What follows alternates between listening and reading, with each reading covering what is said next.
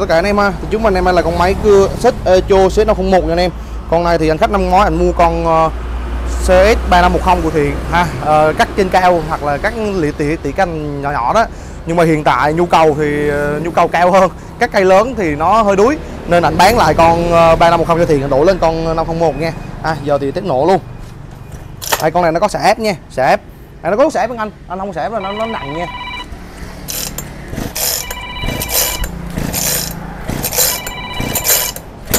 Đó ho rồi nè đóng y vô sẽ tiếp đó.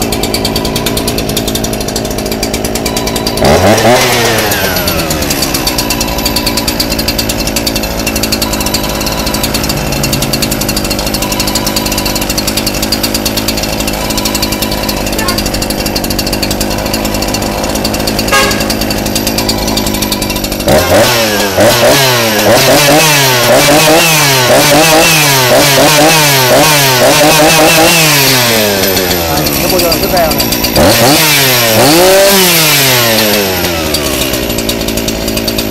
đó hôm nay thì vẫn có cái nút để tăng chỉnh lem xích ở đây. À, tăng chỉnh cái nhớt bu cho lem xích ở đây. À. dòng này thì nó cùng một khúc với con cưa Humana 353 nha anh em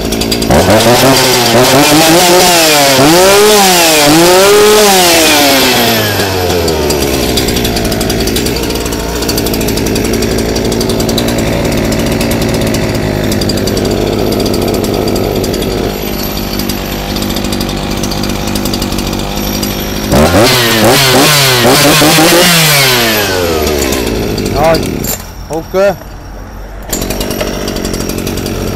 Con ờ, 501 này thì thuộc cái cái phân khúc là X series của Echo ha. Nên ờ, con này thì thiết kế cực kỳ tối ưu cho người dùng và nó sẽ có nhiều cái điểm thiết kế uh, tốt hơn những cái mẫu máy ngày xưa ha như con 525 ngày xưa anh em là mẫu máy cũ nha.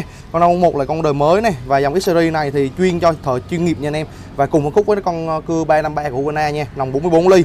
Anh em làm uh, nói chung là cắt là uh, kiểu như là các khai thác tầm trung á, là thoải mái cưa keo của đăng là rất là ok nha. Rồi anh em nào quan tâm thì liên hệ với thiện nhé